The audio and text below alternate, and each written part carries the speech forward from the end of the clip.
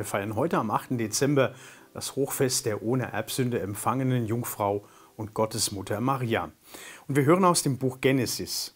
Der Mensch gab seiner Frau den Namen Eva, Leben, denn sie wurde die Mutter aller Lebendigen.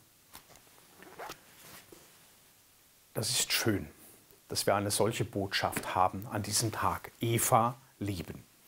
Maria kam sozusagen zu ihrer Aufgabe, durch den Engel, der ihr diese frohe Botschaft gebracht hat. Ave Maria, gegrüßet seist du Maria, begrüßt seist du Maria, der du nun Leben schenken wirst, begrüßt bist du aber, seist du aber auch vom Leben. Gegrüßt bist du, der einen Menschen werden lässt.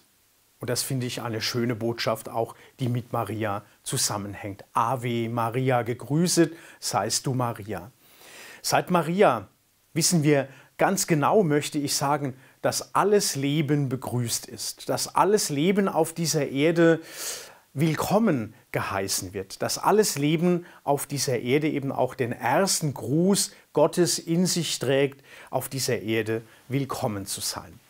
Das bringt vieles mit sich, dass wir verantwortlich sind für unser Leben, aber auch für das Leben anderer. Aber dass wir auch ein Stück wissen, dass genau mein Leben begrüßt ist und mein Leben auch immer wieder Mensch werden darf. Dazu hilft uns immer wieder auch Maria mit ihrem Gebet. Im Namen des Vaters und des Sohnes und des Heiligen Geistes segne ich Sie mit allen, die zu Ihnen gehören. Amen.